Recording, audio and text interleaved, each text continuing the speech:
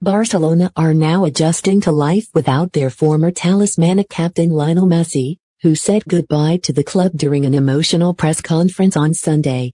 The 34-year-old admitted he was desperate to stay at Camp Nou and even offered to take a 50% pay cut, but Barca's perilous financial situation made it impossible. Messi, who is now expected to sign for Paris Saint-Germain, could not have continued at Barcelona even if he'd offered to play for the club for free.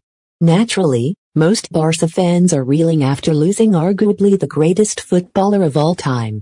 And some are fuming that members of the squad either refuse to reduce their salaries, or refuse to leave the club, this summer in order to help the club keep the six-time Ballon d'Or winner.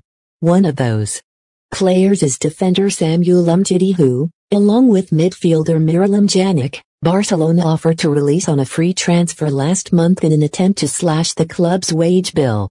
Ronald Koeman didn't want to keep either player, according to Goal, but both remain on the club's payroll for the time being.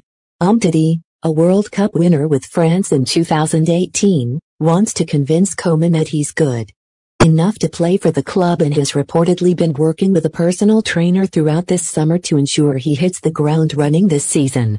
The 27-year-old came on as a second-half substitute during Barcelona's annual Joan Gamper Trophy match against Juventus on Sunday night, which took place just hours after Messi's farewell press conference.